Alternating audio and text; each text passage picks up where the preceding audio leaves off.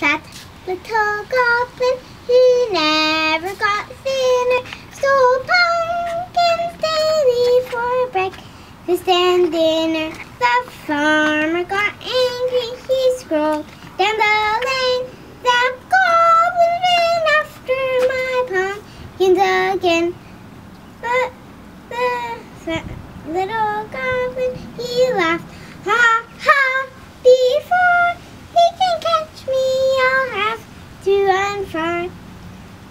fat little goblin I act but one thing. Please leave me a pumpkin for my Halloween. How old are you? I am six years old and my name is Elena.